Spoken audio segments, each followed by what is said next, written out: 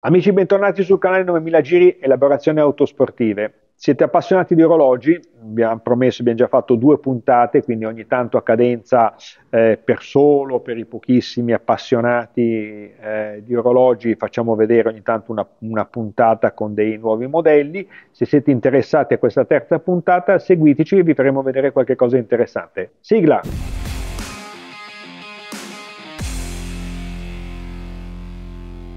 Quindi come premesso questa è la terza puntata dove cerco di eh, far vedere un po' di mh, orologi della mia collezione e di associare a ciascun orologio, dando due o tre caratteristiche per ciascun modello, una macchina di riferimento.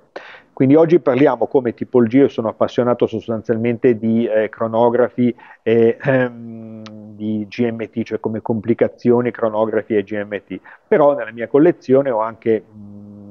alcuni orologi che vengono definiti dress watch, cioè orologi eleganti, la maggior parte dei quali o li ho ereditati da mio papà piuttosto che eh, regalato al matrimonio o quant'altro. Quindi adesso oggi ho portato quattro orologi che ritengo essere quattro pezzi eh, molto interessanti appunto eh, definiti dress watch. Il primo che vi voglio far vedere è questo orologio che è un orologio molto particolare, un orologio da tasca, come vedete è un orologio da tasca della Rolex, anni 40, che ha un diametro di 44. Questo è un orologio eh, molto interessante perché è marchiato Rolex Bucherer. Bucherer è il, diciamo, il rivenditore Rolex che è stato acquistato recentemente dalla Rolex più grosso del mondo ed è un, diciamo una, un rivenditore che ha un sacco di punti vendita soprattutto in Svizzera e che è il rivenditore più grande mh, appunto di, questi, di, questo marchio. Questo è un orologio molto, dal mio punto di vista molto bello con queste lancette eh, fatte a, ad ancora, ehm, eh, numeri arabi, eh, secondi al 6, carica ovviamente meccanica, quindi carica meccanica, molto particolare e la particolarità di, questa, di questo orologio è il fatto che uno attraverso questo anellino, come si faceva un tempo, attaccava la catenella e diventava ingestibile, oppure ho trovato una soluzione direi veramente geniale, che vi faccio vedere, dove con una basetta in titanio sviluppata appositamente e regolabile, quindi una basetta in titanio che viene fabbricata mh, mm, in, in, Algeria, figuriamoci, neanche in, in Germania o in eh, Svizzera, viene sviluppata in Algeria e appunto marchiata, eh, come si può vedere, titanio, quindi è estremamente leggera, ha queste ansettine di contenimento che a questo punto possono essere regolate, ovviamente poi bisogna prendere un cinturino, in questo caso un cinturino che ha un'ansa da 22 e a questo punto si può ehm, vincolare un orologio, che in questo caso è un orologio ha uno spessore abbastanza ridotto, un orologio da polso, un orologio da, da tasca e utilizzarlo tranquillamente come orologio da polso. Direi che mh, mm, un orologio da tasca ha un, come dire, dal mio punto di vista un quadrante come questo è un quadrante che gli orologi moderni si sognano assolutamente perché veramente ha una, dire, una patina che pochissimi orologi possono avere e il fatto di goderselo eh, in maniera così eh, semplice l'ho trovato veramente geniale, cioè chi ha inventato questa mh, piastra di supporto è veramente un genio, devo dire, gli ho fatto i miei complimenti e direi gran bella, gran bella invenzione. Quindi come dicevo questo è un Rolex Tasca anni 40, diametro 44, al quale io andrei ad abbinare questa macchina sempre particolare che abbiamo avuto l'onore di avere in officina che è un Aston Martin DB7 Vantage eh, che può essere vintage in effetti è una macchina che ormai è, è annoverata tra quelle vintage è un pezzo molto particolare come penso lo sia questo tipo di orologio. Io a questo punto passerei al secondo orologio che è sempre un dress allora, in questo caso si tratta di un eh, Vacheron Constantin, la caratteristica è il fatto che me l'ha regalato mia moglie mh, mm, per il matrimonio, anche questo ovviamente un orologio a carica manuale, rigorosamente manuale, con il, eh, i minuti alle ore 6, quadra, tutto perfettamente coevo. Il, il, la caratteristica di questo orologio sono queste ansie a goccia e il, il nickname di questo eh, orologio si chiama Teardrop Lux, che riguarda appunto eh, queste ansie particolari tipiche mh, delle produzioni non solo Vacheron Constantin, ma delle produzioni degli anni 40. Vacheron Constantin è uno dei due tre marchi insieme a Patek Philippe, insieme ad Arbiguet, insieme a pochissime altre marche che hanno fatto proprio la storia dell'orologeria. Questo come referenza è un 4126 ed è appunto degli anni 40, un'altra caratteristica è il, eh, diciamo, il bracciale completamente originale che ha il, eh, fatto di potersi inserire, quindi non ha il classico, eh, diciamo, la classica fibbiettina, ma è stato curato anche nel dettaglio come, come tipo di bracciale, devo dire sono orologi che si usano chiaramente in occasioni particolari, anche perché sono orologi, non dico neanche estremamente delicati, però non sono orologi da usare tutti i giorni, però fa molto molto piacere averli in collezione perché eh, sono orologi che eh, oggi sono assolutamente eh, introvabili. La dimensione di questo orologio un 34 che oggi è una dimensione assolutamente piccolissima, per eh, gli orologi degli anni 40 era un orologio di grosse dimensioni, cioè allora le dimensioni degli orologi erano molto molto inferiori, quindi un orologio di questa dimensione che diciamo non mh, mm, eh, può essere assimilabile a un, eh, a un day date degli anni 90 o degli anni 80 per dire o qualcosa di leggermente più piccolo, eh, negli anni 40 era un orologio veramente di dimensioni molto molto importanti. A questo orologio ho pensato di abbinare sempre come macchina caratteristica, macchina particolare, questa eh, Corvette eh, C3 Stingray leggermente negli anni 70, questo è un anni 40, questo qua è un anni 70, non avevamo una macchina degli anni 40 eh, in maniera tale da trovare una coevità, però mi sembra una macchina che in questo caso molto molto particolare, quindi quello che associa eh, quantomeno questi due oggetti rimane sempre la particolarità di una macchina che è stata costruita in pochissimi esemplari con un orologio che appunto ha segnato la, la storia dell'orologeria, quindi assolutamente ringrazio molto mia moglie di questo bellissimo regalo che lo tengo molto gelosamente. Io adesso passerei sempre a un altro Vacheron Constantin, sempre anche in questo caso fa parte di un regalo che in questo caso eh, questo orologio è appartenuto a mio padre che purtroppo è morto eh, recentemente